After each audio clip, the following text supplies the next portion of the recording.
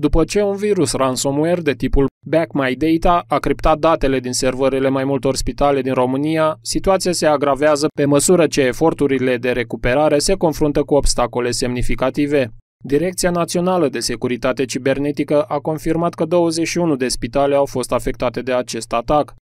Cererea de răscumpărare a fost făcută de către atacatori. Putem adăuga încă 5 spitale la care se confirmă acest incident, dar nu există până acum, nu avem niciun indiciu referitor la o posibilitate de exfiltrare a datelor. Este vorba despre patru spitale din zona publică și o clinică privată. Există în acest moment o cerere de ransom, o cerere de răscumpărare de 3,5 bitcoin, care înseamnă aproximativ 157 de mii de euro, însă în mesajul atacatorilor nu se specifică un nume de grupare care revendică acest atac, ci doar o adresă de e-mail. Atât directoratul cât și alte autorități cu atribuții în domeniul securității cibernetice implicate în analiza acestui incident recomandă să nu se ia legătura cu atacatorii și să nu se plătească răscumpărarea cerută. Una dintre provocările majore cu care se confruntă spitalele afectate este restaurarea datelor criptate, cu toate că majoritatea instituțiilor au raportat că dețin copii de siguranță relativ recente ale datelor,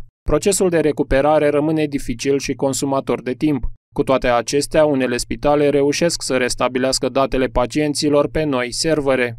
Am uh, reușit să facem o verificare a bazelor de date, a serverelor din cadrul institutului, Uh, pot să vă spun acum că baza de date care cuprinde informații despre activitatea institutului a fost virusată, dar nu este criptată. Baza de date NAS-ul pe care noi facem uh, salvări uh, în fiecare noapte, cum vă spuneam, de la ora 2, este intactă și nu a fost accesată deloc. Astfel că noi avem toate datele și informațiile de care avem nevoie ca să restaurăm toate datele pe un uh, server nou, în așa fel încât să lucrăm în condiții de securitate. Doar că nu s-au reușit până acum să se scaneze toate terminalele din institut, care, vă spuneam, sunt în jur de 400.